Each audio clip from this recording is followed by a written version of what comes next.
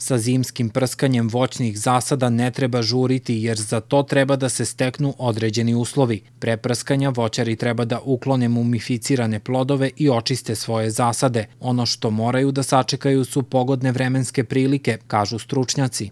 Koristi se bakarni preparati u kombinaciji sa mineralnim uljem, a to mineralno ulje ukoliko je 8 stepeni ne, ne može da se jednostavno zalepi za tretiranu površinu biljke, pa prema tome znači od 10 pa naviše stepeni je neka preporuka da se radi ovo zimsko prskanje, odnosno tretiranje. Tu se suzbijaju svi prezimljujuće, sve prezimljujuće forme i bolesti, štetočina koje se nalaze u pukotinama, gra, ovaj, kore, grana, u pupoljcima.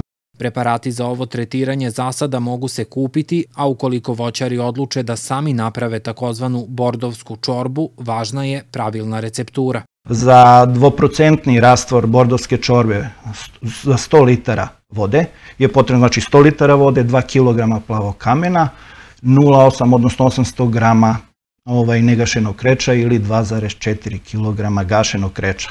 I još jedno ovaj, napomena da se uvek sipa rastvor plavog kamena u rastvor krešnog mleka, ne obrnuto. Zimsko prskanje preporučuje se za sve vrste voćnih zasada. Mera prevencije za voćnjake tokom niskih temperatura je krečenje stabala. To bi trebalo uraditi pre početka faze zimskog mirovanja, a po završetku vegetacije, dodaje Panajotović.